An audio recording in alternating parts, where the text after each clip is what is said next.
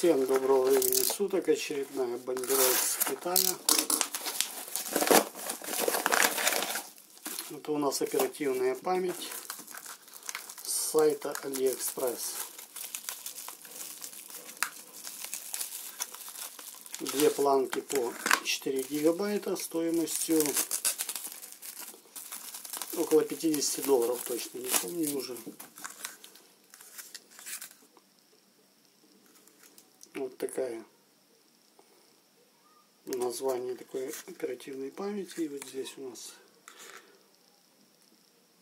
характеристики данной памяти. Уже второй раз я заказываю эту оперативную память. Она определяется системой как Kingston.